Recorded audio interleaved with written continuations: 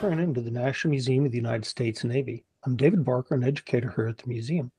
We're joined today by Captain White and Stuart Milk to talk about the USNS Harvey Milk, the ship's importance to the Navy, and what the name means to the people of the United States along with the crew. Captain White has worked for the Department of the Navy for 36 years, three on active duty, 33 military 33 years as a military sea lift command civilian mariner.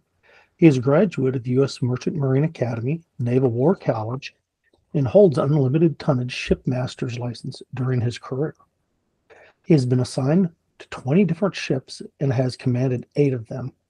He has participated in numerous contingency operations and he has deployed in support of the Navy in the Caribbean, Northern Europe, the Baltic, Mediterranean, the Red Sea, the Horn of Africa, the Persian Gulf, the Indian Ocean, the Far East, the Pacific, and the Atlantic. He is presently assembling the crew for the future USNS Harvey Milk and is looking forward to the ship's delivery to the Navy in June of this year.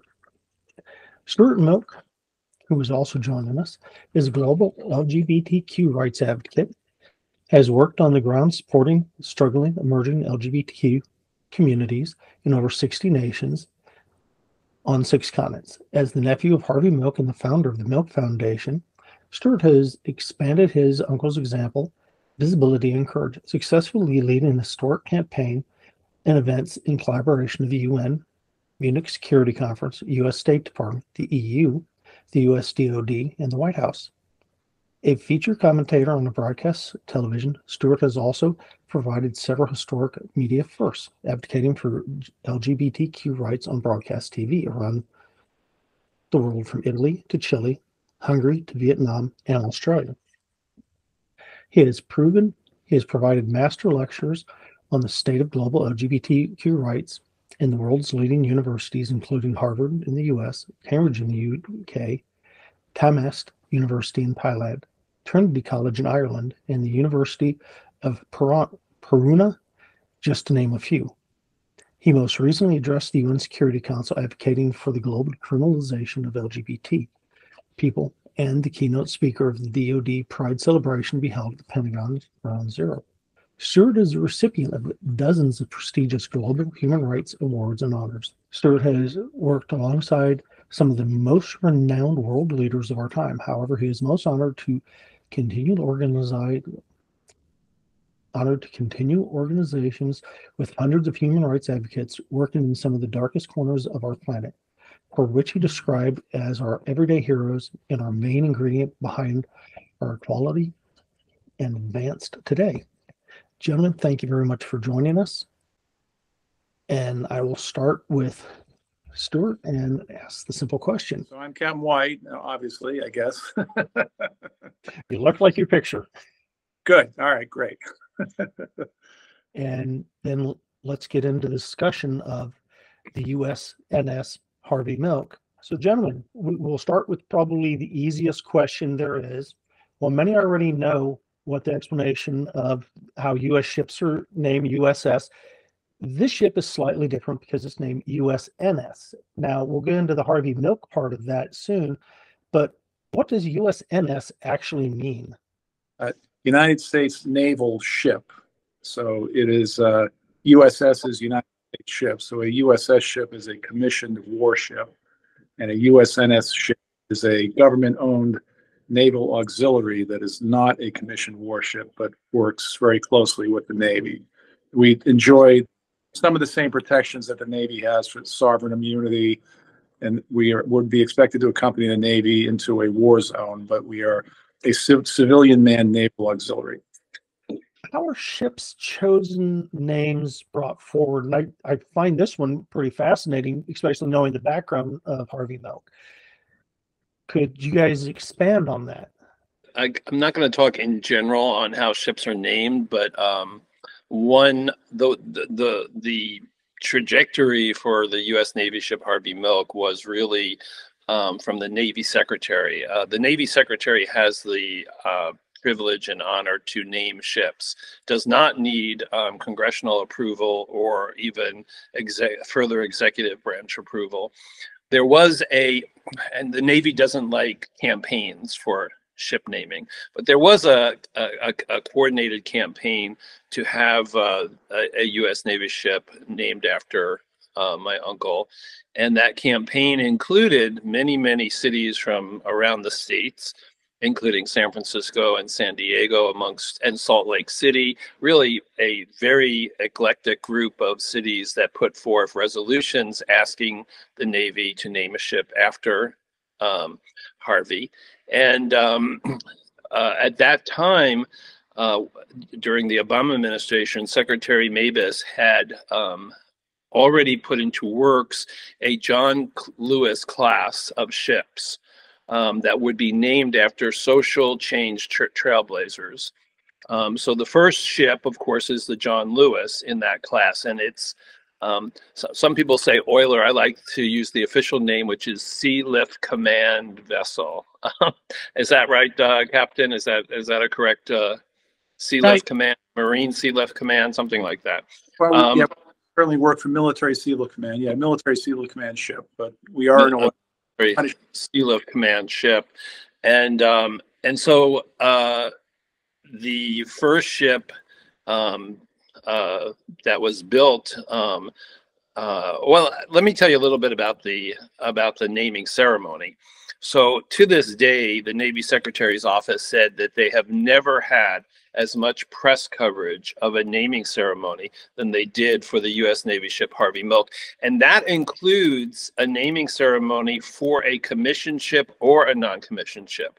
And we held it on Treasure Island. Um, uh, and uh, we had um, really just global coverage. Everyone from from uh, the uh, Australian News Service, the BBC. We had um, the China News Service. We had um, uh, just a tremendous amount of positive coverage. There was some pushback um, uh, from you know from some extreme elements of of the U.S. One element of the U.S. civil society community. But for the most part, it was very, very positive.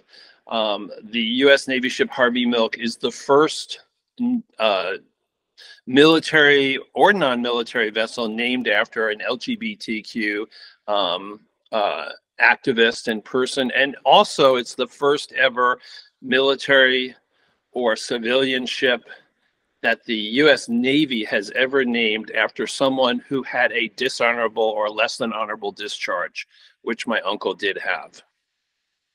Yeah, um, he was a commissioned officer. He was um, uh, Lieutenant JG at the end, correct? Um, he was a um, commissioned officer. He was stationed. He was on. He served on the Kitty Hawk. He also um, served as a naval diving instructor. Um, he they his DD two fourteen is is quite lengthy. Um, I had the DD two fourteen, and for years I had been telling people because my uncle had said um, somewhere in his political career. So uh, he um, he he would tell people that he was that he served and that he was honorably discharged. And um, actually, someone at the San Francisco Library found a a forged honorable discharge. But of course, I knew he was dishonorably discharged or less than honorably discharged, and I knew why. I didn't have the details. Secretary Mabus actually got me the 20 pages of details that he was found in a park where people were known to, where LG, where gay people were known to frequent, and there start two weeks of questioning. Um, interrogation. It was really, if you read over some of the documents, quite brutal um, and um, and eventually they they got him to agree to to resign with a less than honorable discharge. Um, and so uh, I think it's an important element. You know, one one story that I do like to tell is that Secretary Mabus before so. Uh, under the Obama administration, anyone who was who had been discharged um, either dishonorably, less than honorably, because they were found out to be gay or lesbian or bisexual, um, they were um, the, the Obama administration allowed either they, those individuals or their family members to get their discharge reversed. So to have a dishonorable discharge change to honorable, a less than honorable discharge change to honorable. So Secretary Mabus gave me a call a, a, a few days before the naming ceremony and said, Stuart, you know, we really would like you. We can't do it. It has to be a family member. Um, we'd like you to request uh, his uh, dishonorable, less than honorable discharge be changed to honorable, and we can expedite that and get that done probably in a day. And I told him, well, respectfully, I'm going to decline. I said I would like this ship to be named after someone who uh, the ship will teach was forced out of the military because of who they are and who they loved. And I think that that's a great teaching moment.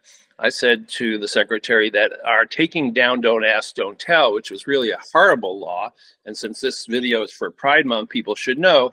Um, so the secretary had said um, uh, that you know that he could get this expedited. I explained to him um, that it's really important for us to realize that you know even great institutions like our U.S. Armed Services make mistakes um, civil rights advances and this was this is a great teaching moment that we can teach that at one time someone like my uncle would have been forced to either would have been honor dishonorably discharged or forced to resign um, and uh, don't ask don't tell now allowed people to serve which is tolerance um, but i think that that the u.s navy ship harvey milk says that it's that the military is more than tolerant they are celebrating now everyone who serves.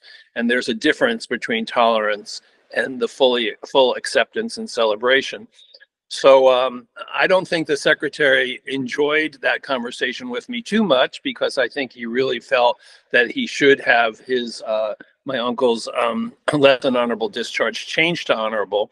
And that later that afternoon, I got a call from the White House, um, the switchboard, and uh, they said uh, the president's on the phone for me, and um, uh, I have talked to the president quite a few times at the White House. I've been able to. I was privileged enough to share President Obama to share events um, uh, with him at the White House, including a Harvey Milk Champion Change Medal, a global conference on LGBTQ rights, and of course. Uh, my acceptance of my uncle's Presidential Medal of Freedom. Um, so the president said, similar to what Secretary Mabus said, is that Stuart, I really think we should get your uncle's less than honorable discharge changed to honorable.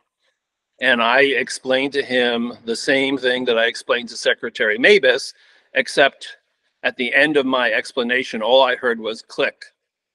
And um, and then I uh, I uh, reached out to to Valerie Jarrett, who is was the president's senior policy advisor, and she said, "No, you didn't get disconnected, Stuart. I, I don't think in my history anyone has quite said no to the president like that." And so he hung up on you. Um, anyway, that's a little interesting backstory of it. Um, I did see the president at an event after that and and wanted to ask him about it, but I didn't. So um, so uh, I'm sorry now. Uh, your original question that I uh, that I, as you can see, I'm I'm very verbose. So uh, Be- because you're talking about the ship, that actually leads to the next question. Sure. Could you tell us what kind of ship this is and the type of personnel on the ship? Now, you've already said that it's a civilian ship, ran mostly by civilians for the Navy, but what exactly does it do? Okay, the ship is a John Lewis class replenishment oiler. It is the second ship in the class. The class of ships will eventually consist of uh, 20 ships, I've been told. So we're the first two are first two are in the water, almost running. The, the Lewis is running. We're almost running.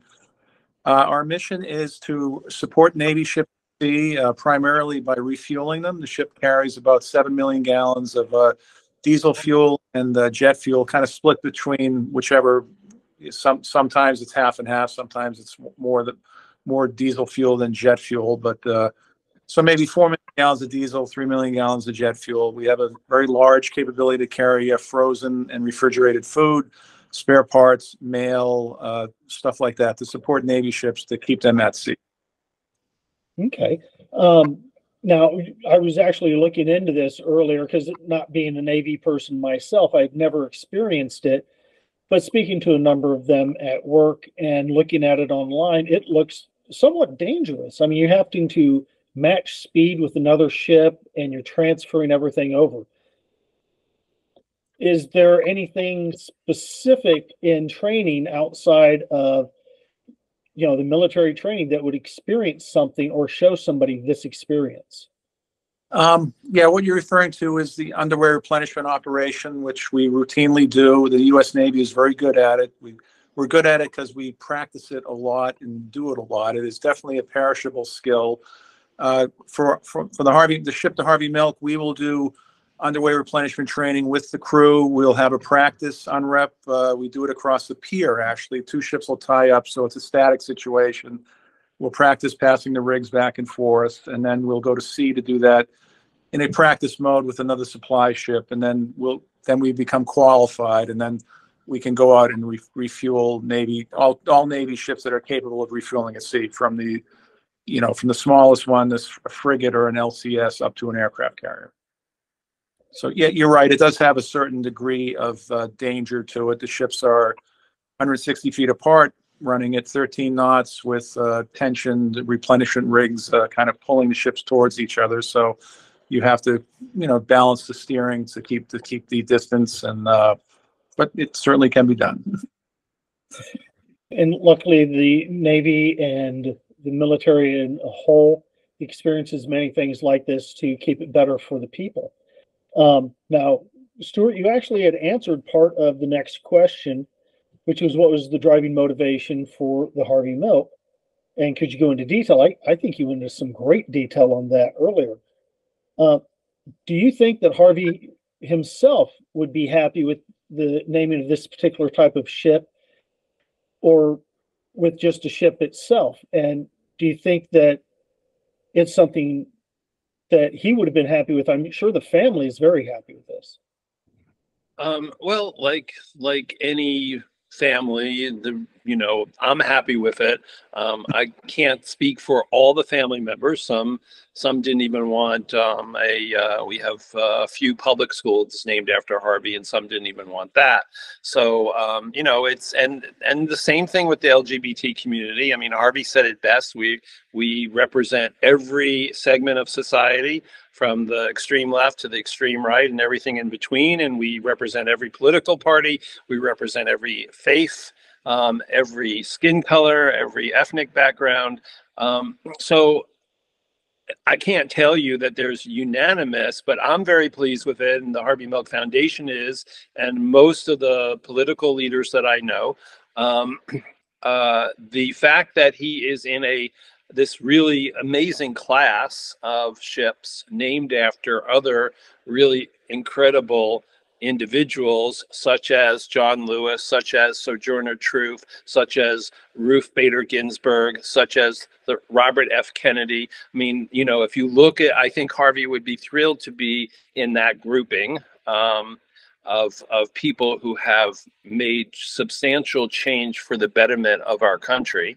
Um, and I do think that there is a tremendous um, educational component to this, which um, which was very very big for both Secretary uh, Mabus and Secretary um, Del Toro spoke to me at length about the uh, educational component. Now I know I've spoken to Captain White, and he didn't give me as much um, um, uh, as much, I should say. Uh, information on the educational component because Captain White had told me that he hadn't been part of something like this before, um, or someone or a ship named after someone that you would you would want to go out and explain who who they were. But um, you know, I really think it's a great opportunity. So when this ship goes into port, and hopefully, you know, at least Secretary Mabus said this will go to a lot of ports where it's still criminal to be LGBTQ, um, and that is, you know, um, we have we went from 72 to 73 countries when Uganda recently passed its um, its new uh, uh, law in parliament, which actually puts anyone who's LGBTQ as a as a, criminal punishment is death. So they actually increase the criminal punishment of it, and we've seen that in some places. Brunei, uh, um, uh, we have uh, some countries in the Pacific that um, that have on their agenda the harsher criminalization that will include um, the death penalty for someone who simply is LGBTQ. Russia just passed a new propaganda law, so it's punishable for 20 years if you were to simply tell someone that you were lesbian or gay. Because now it used to be if that you told anyone under 16. They just passed a new law which Putin signed into effect, which means that if you tell anyone, it could be seen as propaganda, and that includes other adults. So this is a real good opportunity. I hope that one day this ship goes to um, a lot of these countries. I like to tell the story of one particular young man that we got a um, uh, an email from. Um, we got many many emails similar, but this young man, his name is Khalil. We had reached out to him. So after that naming ceremony on Treasure Island, we got an email from this young man. His name is Khalil um, he said that he was sitting on the port in Kuwait, um, uh, that he had planned his suicide. So it is illegal to be LGBTQ in Kuwait. Um, it is one of the countries where it is punishable by death. Um, there are honor killings that go on throughout the Middle East currently. An honor killing is when someone comes out to a parent, the parent feels that it, the honorable thing to do is to actually kill their child. Um, and this is quite frequent in a lot of the Middle East. Um, and Kuwait and in uh, Kuwait, um, uh, you know, the U.S. military is in many ways revered. We are the we are the we are the country that freed them from their invasion that Iraq did uh, a few decades ago, and um, uh, and uh, Khalil said in his email, you know, I had planned to kill myself because I didn't want my parents to have to kill me. I wanted to protect them from having to do an honor killing. And so he said, I had planned my suicide. And now I'm sitting here in the port waiting for the US Navy ship Harvey Milk to arrive because this gives me hope hope that change can occur. And I have put aside my suicide um, plans. And we stayed in contact with Khalil, and he is now actually in a uh, in, in, another country in the region that has um, slightly better laws, um, and uh, and he's in a fairly good spot. But he really, you know, it was a beautiful message that he was metaphorically waiting at the port there for the U.S. Navy ship Harvey Milk to arrive. And I think it's it's a tremendous possibility that one day the U.S. Navy ship Harvey Milk will either refuel or take on products in in the port in Kuwait and in that region and do some education. Sure. Yep. Now, that actually comes up to a very good point. You're a refueling ship, you carry frozen goods, you carry all kinds of goods.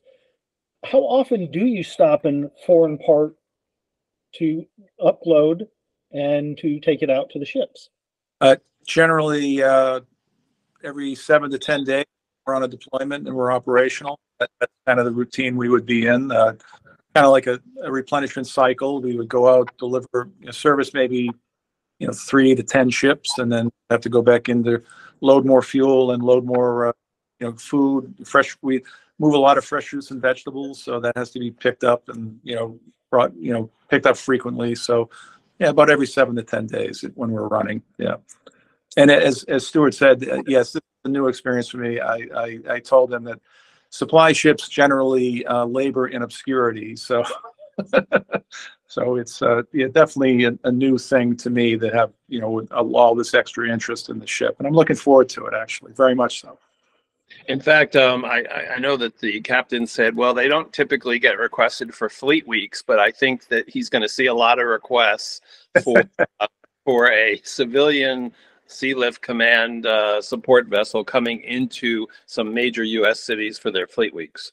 Yeah, we, we almost always will be, we'll refuel everybody going to Fleet Week and refuel them when they come out of Fleet Week, but we, so that's how, that's my experience with Fleet Week.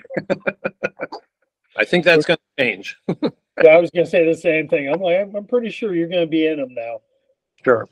Um, now, how would somebody look up beyond just a quick internet search for Harvey Milk, how would they search more information on the USNS Harvey Milk?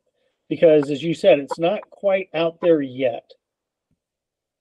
Um, it, we, you know, Military Sealift Command has an extensive website that, that talks about what ships are in the fleet. There is a, an entry for our ship and then just a general internet search. Uh, you can find pictures of the ship underway already from our, we went out for builders trials in February. So I guess no specific place. We don't have our own website or anything. Uh, yeah, just that, that's how I would, I would look at, look at, look the ship up. And I, I do think we we will at the foundation look to establish a um, on uh, HarveyMilk.com a um, uh, a series of pages dedicated to uh, to the ship. We do currently, I believe, have a link for the um, christening christening ceremony, which is still up at the U.S. Navy's um, uh, social media channels, the secretary's social media channels, and on NASSCO's uh, social media channel. So there's that whole um, ceremony is still up there through a number of social media links. Yeah, I believe uh, NHHC still has that on our link as well. Um, gentlemen, is there anything else that you would like to add about Harvey Milk, the Navy, or the ship? Um, I'll, I'll go first. I'm sure Stuart has a lot to finish it up. Uh, just a quick one. I, I, uh, it's Harvey Milk served aboard the U.S. Kittiwake, which is a submarine rescue ship. Uh, I, in the 80s, I actually took a tour of the Kittiwake. A friend of mine was assigned to it right before it decommissioned. And uh, so I've walked the same deck that Harvey Milk did. so I'm, I'm always happy to say that. Um, and very much looking forward to getting the ship uh, delivered. Uh, we're expecting to, expecting that to occur in June of this year, and then uh, the ship will eventually be an East Coast ship based in Norfolk. So we'll have to go through the Panama Canal uh, sometime in the fall, and we'll get to Norfolk then. So looking forward to that. It's a long process bring a ship into service, uh, and we're well into that, and just re- really looking forward to get get work and you know getting the getting the Harvey milk into all these other ports so people can see it and see what what the, what the ship means. Stuart, did you have anything else that you wanted to add with this? Well, again, it, it's just a reinforcement of, um, of of the type of hope that a ship like this can inspire, especially if uh, people know the history of of my uncle. Um, you know, he's got a lot of um, um living memorials to his name um, and this is yet another one, an important one. Um, you know, uh, military service was very important to him. Um, it was important to um, my paternal side of my family. So his father was had been a Navy veteran. His mother was part of these. Um, even though women couldn't serve, she was in a support role at yeoman's. And uh, and thank you, by the way, Captain White, for always correcting me on my. I, I promote Harvey to the Kitty Hawk because I have problems saying the. Uh, can, or the Kitty Wake, yeah. Can you wait? Yeah. So, um, um, friend on the Kittiwake used to get misdirected supplies from the Kitty Hawk all the time. like airplane wheel or leather flight jacket would show up on this little submarine rescue ship. So.